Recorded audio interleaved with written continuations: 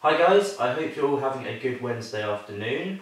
As you can see, a slightly different setup for today. My mum is at work. We tried to film a video with both of us last night, but unfortunately the camera died. So it's just going to be me for today, and we're going to do something slightly different. Uh, again, the Wednesdays are generally the lighter videos, and today we're going to discuss Charlotte's artwork and her design work.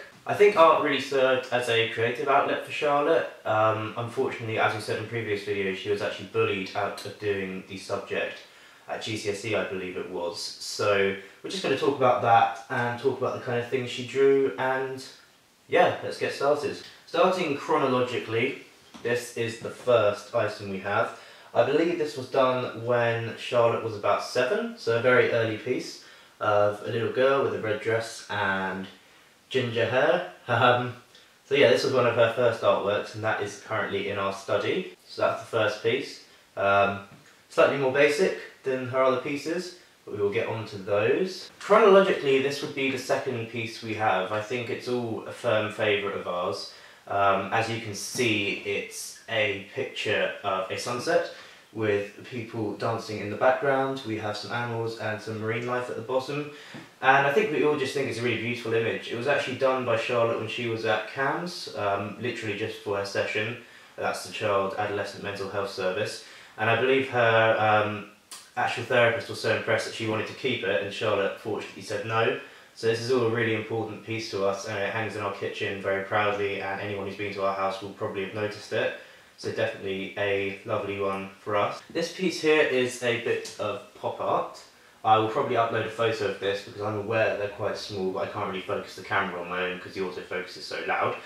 What we have here is the Star Wars logo, hula hoops, Marmite, smiley face, Ribena, uh, iTunes, a piece saying I love you, and this rather fetching what I at first thought to be a girl but is in fact Justin Bieber. And Charlotte used to get incredibly irate when I said that this figure, at first I thought it was a, a lady, but no, Justin Bieber, of course, um, being the perfect age to like him, I think Charlotte would have been about 15-ish, uh, year 10 or year 11, so 15 or 16. So yes, this is her pop art um, piece. Again, this is in the kitchen, another proud item that we show off to people. This, if you like, is the most detailed piece of Charlotte's work. I'll upload photos of this as well because it is, in fact, her design portfolio. Uh, lots of Toy Story stuff.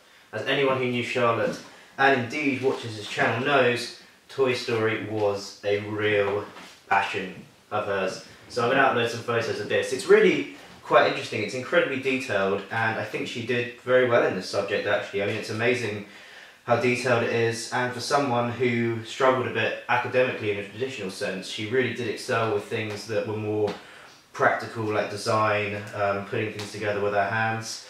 So yeah, I'll put some photos up of this because it's just really, really great and I think it will give you a bit of an insight into her more creative side and I think that's a really important part of a person and a human being. So I think it's important as something to discuss on Charlotte's channel. As I say, this is a kind of lighter video. The Sunday videos will commence with the anxiety and then we'll get onto the nitty gritty, if you like, the more horrible aspects of the cancer. Um, for these videos, we just want to keep them a bit lighter, and if you guys approve of that, please let us know, and we will keep doing them, or otherwise, if you have suggestions or ideas for a different slot, um, put them in the comment section, that'd be wonderful. So yes, um, this is kind of, this is, this is the latest thing we have of Charlotte's, and as you can see here, Oh, I'll upload photo. These are the outlines for a briefcase that she made, and what it was, it was a Toy Story briefcase that was designed as a kind of educational kit. So you had a whiteboard inside it, and pens and pencils, and it was just great. And I'm going to try and upload some photos of that onto this video as an overlay because we can't find it anywhere. And it did mine and my mum's head in last night because we spent ages looking for it. We know it's somewhere in the house and we know it's going to be somewhere dry, but we just can't find it. So I'll upload that. Finally, these are two of my most treasured possessions, actually. These are two of the last things that Charlotte bought me. There's a book here which is a fantastic read. Um, Eric Ravilious. I'm very interested in art myself and I want to go into art history as a discipline.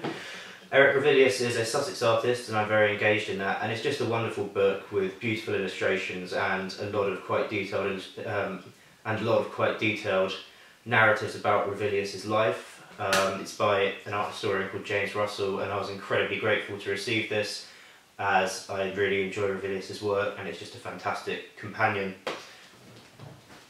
This was the last thing I received from Charlotte as a gift. Um, this was at Christmas, actually, last year, um, Christmas 2015, and it's called Slater's Sussex.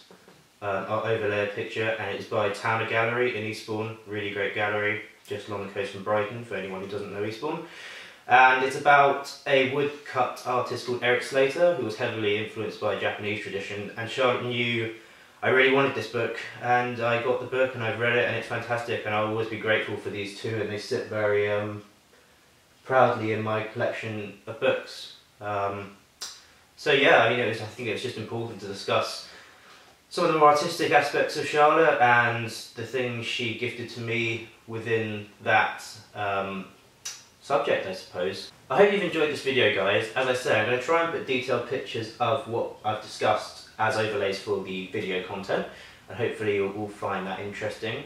We'll be back on Sunday, my mum and I, uh, Dynamic Duo, will be back um, and we'll continue and I believe finish actually the anxiety section. Don't hold me to that but I think year 11 is the last one we're going to do and after that we will go on to the cancer as I say.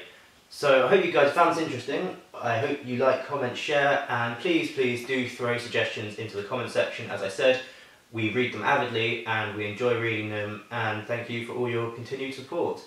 Facebook group is up, as I said last video, so please um, follow that. That would be great. And Twitter, as usual, I'll sling up the, um, the Twitter name so you can follow that if you haven't. Okay, well thank you for watching. I hope you have a nice Wednesday afternoon, evening, and we'll see you guys on Sunday. Bye.